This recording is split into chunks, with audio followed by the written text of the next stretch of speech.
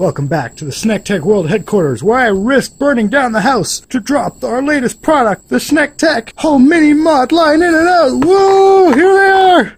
Hot off the presses. This is Air Duster. It's also Flamethrower. I'm melting the nozzle. Don't do this at home. Wow, that was exciting, but I guess I also have to int- introduce to you the required accessory for this awesome SnekTek.com. Woo, SnekTek.com! And that is the, uh, just the Google Home Mini, you know.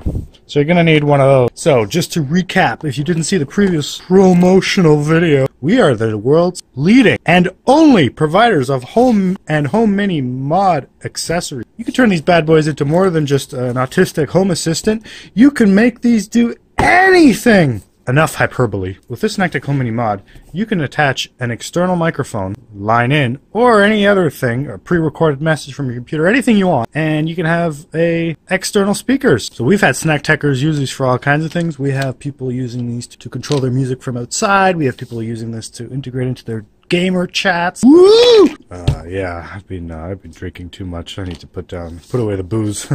Alright, now I'm going to show you the end result here. We've got the mod kit plugged in. We've got uh, Google Home Mini here. We've got the wires coming out. You can see it's coming at the bottom. And we're just going to plug it in and uh, see if it works. Plug in the uh, Home Mini. It's booting up now. And what we're expecting to see is, in a few seconds, this LED on the mod kit. So I've already got my laptop plugged in here uh, for the uh, for the line in. And I've got my headphones plugged in the line out over here. The laptop has a pre-recorded message, Hey Google, tell me a joke. and as you can see, nothing happened because it's not plugged in yet. I'm going to plug the laptop into the auxiliary. Now we're going to play the recording and see what happens. We can see uh, I didn't say anything, and now I'll hold the my headphones up. You hear that? Let me play it again. So I didn't say anything. And now you can hear holding my headphones up to the speaker, up to the microphone of the camera. So hopefully you heard that joke. Hopefully it was a good one. I don't even know what it was. But that is the line in and line out kit. Now, if you continue watching, I'll show you how I did it.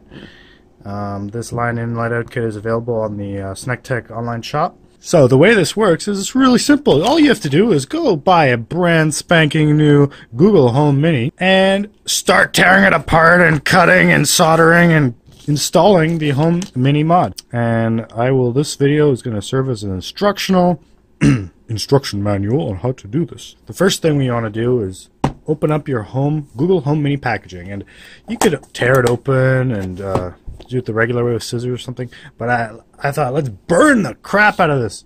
Since we have the uh, flamethrower here. Woo! On fire! It's on fire! All right. Uh-oh. Uh oh. Burning a home mini just for you. Come on, this is like the iPhones dropping off the top of the building. Look, I could have I could have easily burned the inside there. There we go. Alright, here we go. Oh look, it already has soot on it. I'm gonna send it back. Now I already uh, posted a video on how to crack open this sucker, so you better go head on over there. Here we are. I think this we've got the speaker taken out. This is where the other video ends, uh, but we have to go further. Okay, we got to take out the circuit board under here.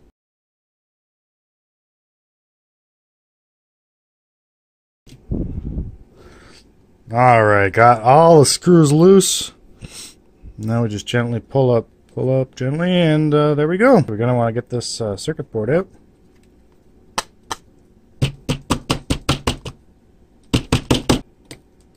Ah, So just pry it up.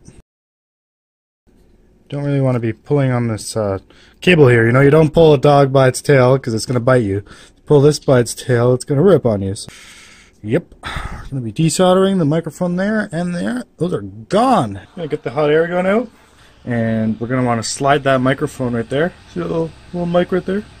To slide it just right off. Put it over every few seconds. Don't let it get too hot. These things get very hot. Try to localize. Try not to touch the other components. Don't touch what you're not supposed to touch. These days you get a lot of trouble for that. Look at that camera work. Can you believe it? Look at that. That's what we want. So see the lid coming off. We don't care about that. Look at that. I'm not going to try it, but if you knock off this little black guy here... Ooh, that sounded bomb. Um, if you knock off this black uh, black chip here, I can't guarantee that your uh, volume up and volume down buttons are going to work anymore. All right, the next step is every SnekTek uh, kit comes with some silicone, some uh, some nice silicone wire because we love silicone around here. Okay, it's uh, it makes it makes things better. Okay, it it really enhances. So what we're going to do is we're going to be connecting these wires to these pads here. We're going to call this brown, white, red, and purple. Purple is going to connect to this pad. That's the data for the digital microphone. The, the red is really orange, but call it red. It's going to connect to this pad. That's the power. And that's going to be powering our SnekTek mod kit. The white is going to connect to this pad. That's the clock. And then the brown is the ground return path is going to connect to, uh, to this uh, circular pad right here. So um, I'd recommend connecting on this side to this microphone um, because it's closer to the to the plug here, which means your wires will be coming out of the same place if you can also do the line out mod. Let's start stripping. Okay, we got silicone, we got strippers. You know, it sounds like a party. Now, if this process uh, sounds daunting, which it might if you're not, uh, you don't have a little bit of experience uh, soldering, uh, you can always have us do this mod for you. You can check the website for the current price, and we will do this whole mod and uh, send it over your way for not too much money. So you can you can try that. Then you don't have to worry. You can have the peace of mind that it's going to work.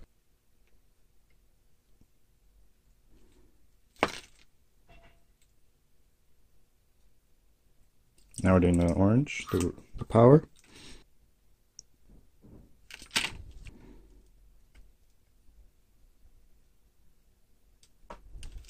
Okay, that wasn't too bad. We want to make sure there aren't any shorts or anything. And it looks good. Now this is going to be relatively fragile. If you're not putting it back in the case, uh, you should probably put a dab of epoxy uh, on there. And you know how much I love epoxy, so better put some on there. But I think what we're going to do is put some epoxy once it's back together. That way we'll be sure that it fits. So the next step is to install the speaker wire mod. And I'm just going to cut off we're not going to be using the speaker at all. We're going to have to lengthen this little pigtail in order to connect it to the mini mod. Is you got to bust out the strippers again. And we're going to put some heat shrink tubing, which I didn't include in the pre-orders. But every kit from now on will include two bits of heat shrink tubing. Okay, and now we just solder on